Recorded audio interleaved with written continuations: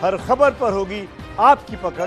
Download कीजिए ABP live app और इस समय की बड़ी खबर जानिए, मजदूरों के लिए बसें खड़ी हुई हैं, लेकिन वो पैदल चलने को मजबूर हैं। कल रात नोएडा में कांग्रेस के कार्यकर्ता पुलिस वालों से भिड़ गए इस बीच। और विवाद इसलिए हुआ क्योंकि पुलिस ने कांग्रेस पार्टी ने जो बसें मंगाई थी, उसकी एंट्री नहीं होने दी। बसों को जब पुलिस ने रोका तो फिर कांग्रेस कार्यकर्ताओं और यूपी पुलिस के बीच नोकझोंक। ये तस्वीरें आपके सामने। शर्मा जी एग्रेसिव ज़्यादा हो जाए। ऐसे नहीं होना चाहिए। है है इस पर्टिकुलर इशू पर हैं,